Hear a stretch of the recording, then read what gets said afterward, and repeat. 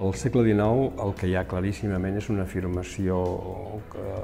d'un catalanisme cultural i polític. Però el que passa és que això que es diu molt de pressa amaga diverses coses importants.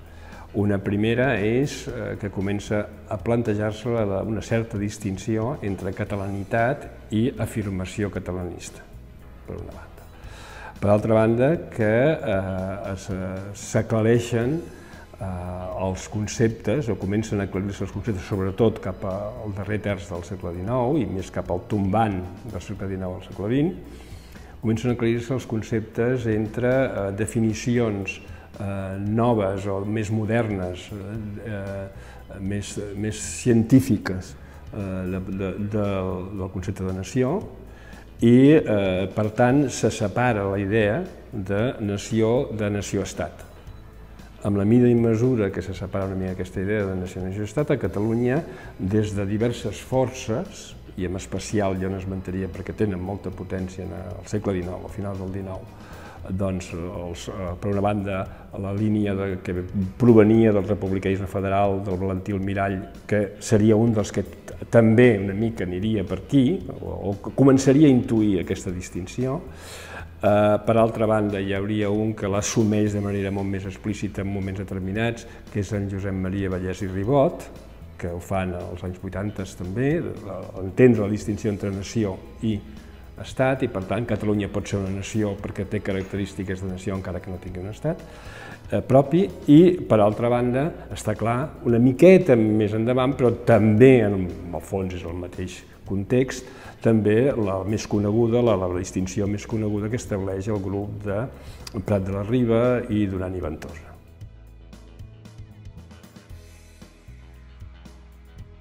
Es pot sintetitzar amb una, primer una idea de modernitat econòmica i,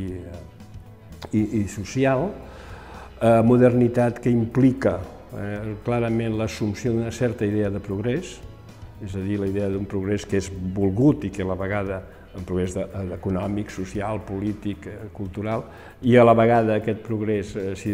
es creu que és ineluctable, és a dir, que ha de venir sigui com sigui, eh, es veu com, com, com, com que és allò que, bueno, que és inevitable que, que, que els països moderns doncs, van per aquí i per tant que és inevitable que arribi algun dia, i Catalunya doncs, una mica s'inscriuria aquí.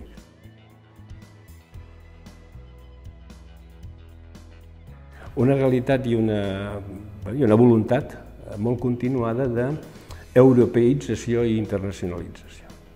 És a dir, la, hi existeixen al llarg del segle, es poden anar constatant, l'existència d'elits eh, eh, d'avantguarda, tant cultural com econòmica, com social, com política, com obrera,